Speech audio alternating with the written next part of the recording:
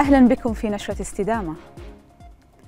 تضع مملكة البحرين ضمن أولوياتها خطط الحفاظ على التنوع البيولوجي وسخرت جهودها كافة لدفع المساعي الدولية وتعزيز مكانتها على صعيد حماية البيئة ومواجهة التغير المناخي بما يحفظ حق الأجيال القادمة ويحقق الأمن البيئي العالمي. الزميل محمد شكري يستعرض لنا أبرز جهود المملكة على صعيد حماية البيئة وتغير المناخ في سياق التقرير التالي.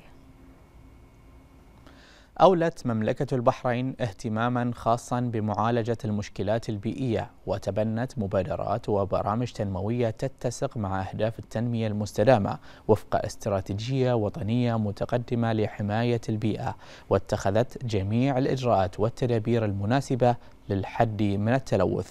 ومن بين هذه الجهود استراتيجية البحرين للتنمية المستدامة حيث تعتبر مملكة البحرين من الدول التي وضعت استراتيجيات واضحة لتعزيز التنمية المستدامة وحماية البيئة وتهدف هذه الاستراتيجية إلى تحقيق التوازن بين التنمية الاقتصادية والمحافظة على الموارد الطبيعية. الاستثمار في الطاقة المتجددة حيث تقوم مملكة البحرين بزيادة استثماراتها في مجال الطاقة المتجددة مثل الطاقة الشمسية والرياح بهدف تقليل الاعتماد على الوقود الأحفوري وتقليل الانبعاثات الضارة. الحفاظ على البيئة البحرية حيث تولي مملكة البحرين اهتماما كبيرا لحماية البيئة البحرية وتعمل على تنفيذ إجراءات للحفاظ على التنوع البيولوجي البحري والموارد السمكية. التوعية البيئية حيث تقوم الجهات الحكومية والخاصة في مملكة البحرين بتنفيذ حملات توعوية وتثقيفية للمواطنين والمقيمين حول أهمية الحفاظ على البيئة وتأثيرات تغير المناخ وتشجيعهم على الممارسات المستدامة في الحياة اليومية. إدارة النفايات تعمل مملكة البحرين على تطوير نظم فعالة لإدارة النفايات بما في ذلك تعزيز إعادة التدوير وتحسين عمليات التخلص من النفايات الصلبة والسائلة. المحميات الطبيعية تعمل مملكة البحرين على تحديد وحماية المناطق الطبيعية الحساسة والمحميات الطبيعية للحفاظ على التنوع البيولوجي والمحافظة على النظم البيئية الطبيعية. التعاون الدولي تشارك مملكة البحرين دائما في الجهود الدولية لمكافحة تغير المناخ وحماية البيئة وتعمل على تبادل المعرفة والتجارب مع الدول الأخرى بهدف تحقيق تقدم مشترك في هذا المجال. مشاهدينا هذه بعض الجهود التي تبذلها مملكة البحرين على صعيد البيئة وتغير المناخ والتي تسعى من خلالها إلى تحقيق التنمية المستدامة والحفاظ على البيئة للأجيال الحالية والمستقبلية. حصلت جامعة البحرين على المرتبة الأولى على مستوى مملكة البحرين في تصنيف الجامعات العالمي للاستدامة جرين ماتريك للعام 2023 وجاءت في المرتبة الخمسة والعشرين على مستوى دول العالم بمحور التعليم والبحث.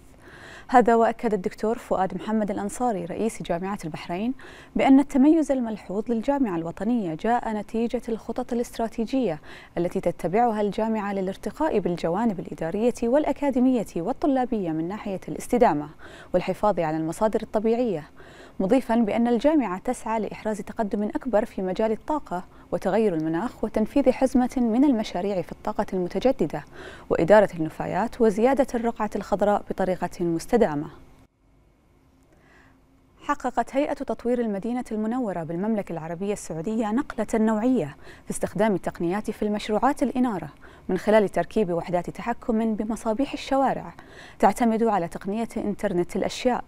وتغطي ما نسبته 85 من مساحة الشوارع وميادين المشي في مدينة المنورة.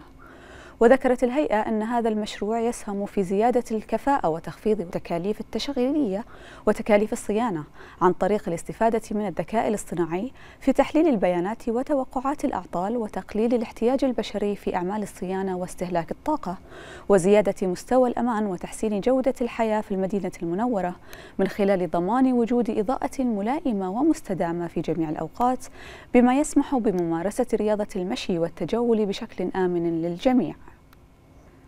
مع تغير المناخ العالمي وتأثيراته نتيجة تزايد انبعاثات ثاني أكسيد الكربون بدأت سلطنة عمان في تنفيذ مشروعات الطاقة المتجددة وفق رؤية الحياد الصفري الكربوني بحلول عام 2050 لتؤكد بذلك إيمانها بضرورة احتواء التغير المناخي.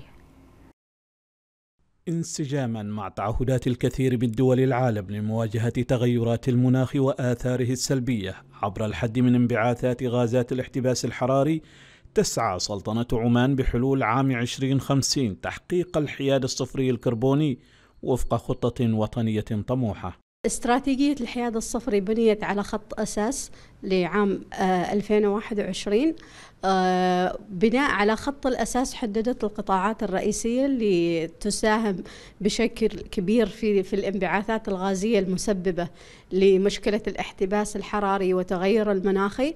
آه، هذه القطاعات تشمل قطاع الصناعة قطاع الطاقة بشقيه الكهرباء والنفط والغاز عندنا أيضا قطاع المدن والمباني وقطاع النقل ويرتبط الحياد الصفري الكربوني بأولوية البيئة والموارد الطبيعية في رؤية عمان 2040 والمتعلقة بتحقيق التوازن بين متطلبات التنمية المستدامة واستخدام الموارد والثروات الطبيعية لنمو الاقتصاد الوطني. وهو ما دفع بالحكومة العمانية إلى اعتماد مختبر إدارة الكربون الذي تمكن من تنفيذ 49 مبادرة ومشروعا للقطاعات الرئيسة المؤدية لانبعاثات الكربون لتكون بمثابة خارطة طريق واضحة لتنفيذ المستهدفات المنشودة. أهم الإنجازات للفترة الحالية هو صدور مرسوم سلطاني رقم 10 على 2023 بتخصيص ما يزيد على 65 ألف كيلومتر مربع من الأراضي المخصصة. للطاقة المتجددة والهيدروجين النظيف. آه، قرابة 50 ألف كيلومتر مربع من هذه الأراضي مخصصة لمشاريع الهيدروجين الأخضر آه، تحت إشراف شركة هيدروجين عمان. آه، تم التوقيع على خمس اتفاقيات كل اتفاقية لمدة 47 سنة مع مستثمرين من جهات مختلفة من العالم. بإجمالي استثمارات تقدر ب 30 مليار دولار أمريكي خلال السبع سنوات القادمة. وفي السياق العملي ذاته تم افتتاح محطة عبري للطاقة الشمسية بسعة إنتاجية تقدر ب 500 ميجا واط إلى جانب محطة ظفار لطاقة الرياح ومشاريع أخرى قريبا افتتاحها. يقابلها عدد من الاتفاقيات في الطاقة النظيفة تتيح مجتمعة الاستثمار الأمثل في الموارد الطبيعية الرياح والشمس والاستفادة من البنية التحتية الصناعية والموقع الجغرافي المنفتح على الأسواق الأوروبية والآسيوية. وتتميز مشروعات الطاقة النظيفة بأن مصادرها متاحة متوفرة في الطبيعة العمانية ومتجددة باستمرار كما أنها صديقة للبيئة. لتلفزيون مملكة البحرين أحمد بن بارك الدرمكي سلطنة عمان. تعتمد الزراعة العضوية على العمليات الطبيعية والتنوع البيولوجي للتكيف مع الظروف المتواجدة بدلا من استخدام المواد الكيميائية من أسمدة ومبيدات حشرية لذا يكون الاعتماد بشكل أساسي على استخدام الأساليب القديمة في الزراعة بما يتماشى مع الاستدامة واستخدام الأسمدة العضوية لضمان المحافظة على صحة التربة والبيئة والإنسان.